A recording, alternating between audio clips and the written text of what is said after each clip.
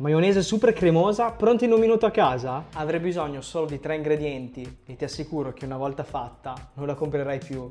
Rompi l'uovo all'interno del bicchiere del frullatore ad immersione. Ti consiglio di utilizzare uova fresche biologiche freschissime. Però se non sei sicuro della provenienza e anche della freschezza, puoi utilizzare un uovo sodo. Verrà comunque bene e sarai sicuro. Aggiungi l'olio di semi di girasole, meglio se è freddo, quindi mettilo all'interno del frigorifero almeno un'ora prima.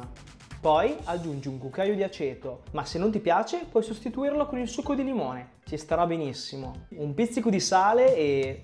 ci credi che abbiamo finito? Ora dobbiamo solo frullare. Prendi il frullatore ad immersione e inizia a frullare dal basso per qualche secondo. Poi muovilo con dei movimenti delicati dall'alto verso il basso. Ed ecco qua che si sta formando la maionese.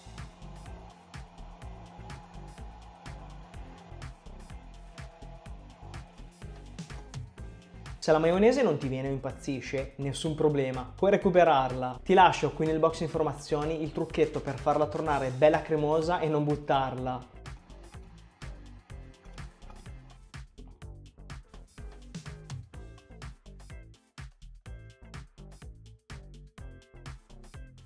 In meno di un minuto eccola qui, super cremosa, saporita ed irresistibile.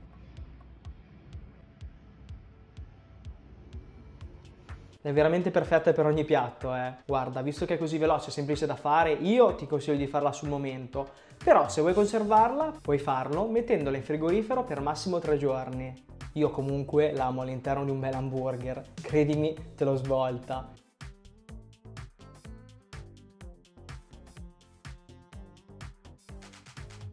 Assaggiamo. Mmm, wow favolosa, la mangerei a cucchiaiate, guarda, troppo buona. E invece tu dove la usi più spesso? Dimmelo qui sotto nei commenti, che poi ti leggo. Ciao!